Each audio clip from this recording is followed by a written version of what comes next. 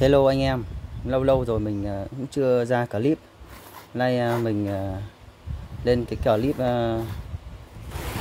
này cho anh em cùng xem nhé Thứ nhất là bộ bản ép lá côn Vios Atit 1.5 Hàng xịn chính hãng nhá. Hàng xịn chính hãng Indonesia này. Đấy, thì cái bàn ép thì có một loại thôi nhưng lá côn thì nó có hai loại.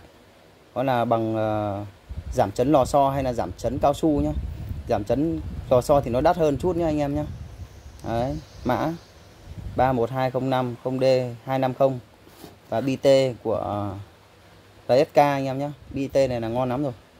Đấy, và cái bộ má phanh này. Giới thiệu với anh em bộ má phanh này. Má phanh Xpander nhá. Hàng này thì là bao không ờ, không kêu này. Đấy mặt mặt đồng nhá. Mặt đồng giống như hàng xịn nhá mà giá thì lại rất là bình dân anh em nhé, đấy Asahi của Nhật nhá.